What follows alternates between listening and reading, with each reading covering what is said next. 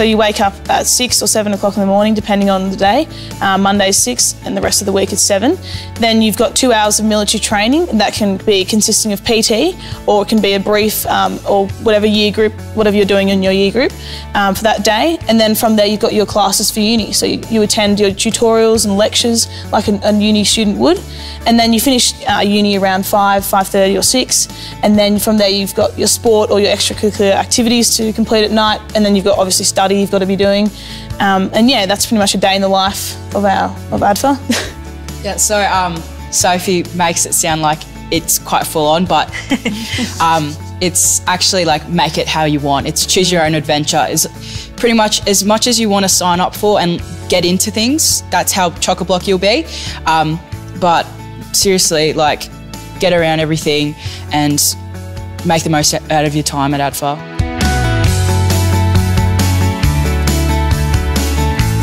This place is very, very focused on doing your degree. It's the main purpose of ADFA, really. So you generally you'll wake up between 8 to 10 is when you'll be doing your military studies. So it's just two hours a day blocked out. That will include PT and other things like that. So generally um, you'll be focusing a lot more on your studies throughout that 10 to uh, 5 period. Mm -hmm. Yeah, so um, as Chris said, there is an emphasis on academic studies. Yep. And staff and um, the academy are very cognizant of that and definitely when it comes to blocks when you know study is ramping up and you have exams staff are very uh, conscious of the fact that they need to give you time to prepare for that so at times you might find that academics does there is an obvious privilege of academics over military but of course there are those blocks mm. where we do have military studies. ADFA accommodation, so it's subsidised, and you get to live with 40 odd people. So you get uh, four people in one part of where you're going to live, and you have one bathroom, um, one laundry, and one toilet, mm -hmm. and it's it's enough for you guys to. It's more than enough, mm. and um, you get to experience that communal living that you probably won't get anywhere else. Um, you get to meet lifelong mates, you know, have have really good banter, and just you know have a good time.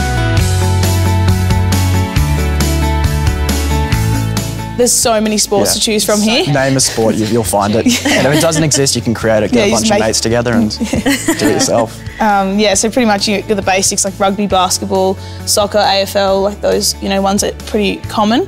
Um, you can join the running club, like there's long distance, like that. Um, yeah, so I play soccer and I played basketball last year. Um, so I play rugby, soccer, and I'm part of a few like co-curricular like clubs that promote fitness, such as Sisters in Arms. We get all the girls together, do fitness, um, and pretty much female empowerment and everything like that. Um, yeah, so there's there's so many sports out there. Like as as Chris said, if you if there's not a sport that you don't that you, you, know that isn't here, you can make it yourself. Also, a lot of the sporting clubs have put up videos on the ADFA page, so check them out as well. Absolutely. And another amazing aspect of ADFA as well is the sporting competitions and uh, the travel and the opportunities that you get. Could you talk a little bit about that? Yeah, yeah. So most of the clubs are entered into the local Canberra competitions. So you're playing local sport um, in whatever grade that ADFA sees fit for that team. Um, and from there, you know, that you've got other clubs that are from nearby Canberra. So there's like Coombe and Wagga, all those, those people um, are involved. So you can travel around. Um, definitely, yeah, you, you, go around Canberra every weekend playing your sport. So it's a really good opportunity to see Canberra if you're new here. So it's really mm. good.